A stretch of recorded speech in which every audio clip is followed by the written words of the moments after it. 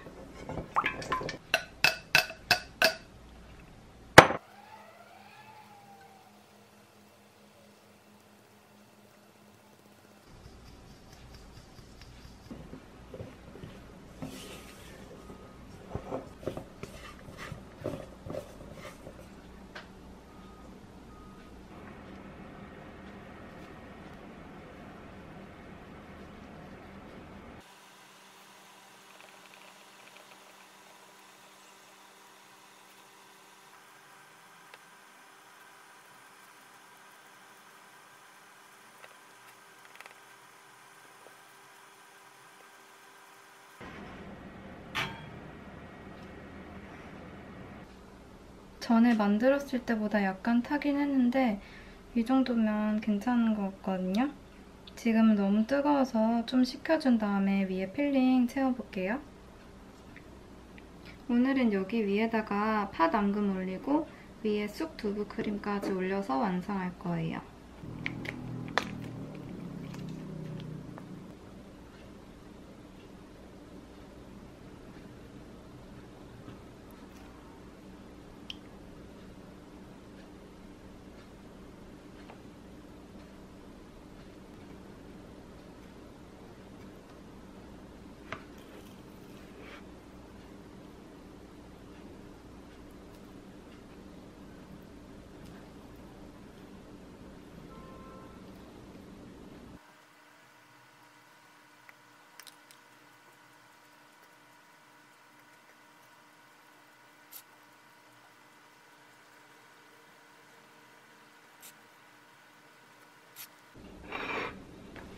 일단 다 완성은 했는데 조금 허전해서 위에다가 뭐를 얹어줄지 약간 고민이 되네요.